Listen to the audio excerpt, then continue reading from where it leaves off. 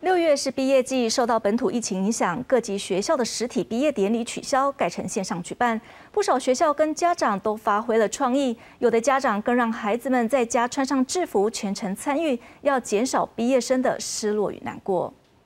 来源来点点点点点点点点点，看你再看看我。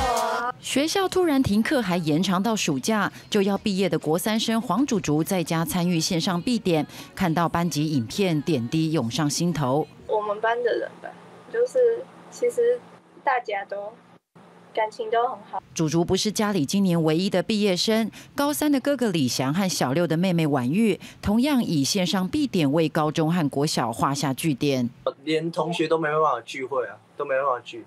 然后就最后看毕业典礼的那个直播的时候，就有看到老师们的鼓励的话，所以蛮感人。跟学校就是一般那种正常的那种毕业典礼，就是差很多，所以就是就是比较没有感觉。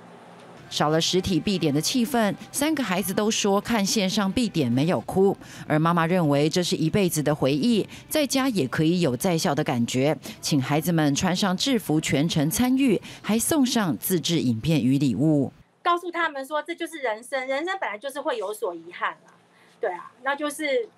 只能把握每一天，就是珍惜当下啦。